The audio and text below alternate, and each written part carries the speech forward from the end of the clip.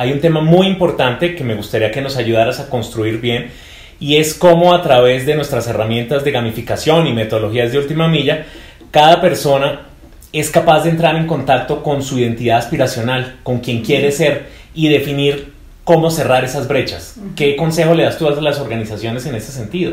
Pues que básicamente utilicen este tipo de herramientas porque hay una profundidad en el análisis más completo que le va a servir más a la compañía eh, y más allá, porque da un análisis más allá de lo que es el análisis por competencias o por capacidades, sino es entender ese ser y esa persona quién es y si se va a alinear a los valores de la organización o no. Perfecto. ¿Cuál debe ser el punto de partida? ¿Una prueba psicométrica? ¿Una entrevista? ¿Cómo orientarías tú ese proceso y qué les sugieres a las organizaciones que hagan para empezar? Yo estoy convencida de que las personas siempre están mostrando su aspiracional, su ser aspiracional.